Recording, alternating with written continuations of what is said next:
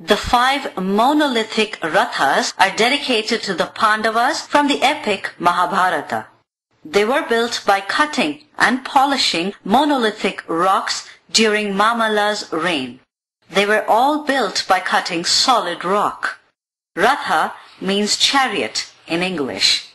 The five Rathas were inspiration for Rashtrakuta king Krishna II to build the Kailashnath temple of Ellora.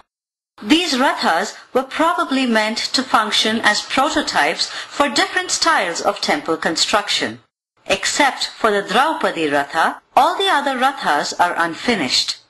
As these were meant to be prototypes, the topmost finial or stupa was carved from the bedrock but was never placed atop the Rathas.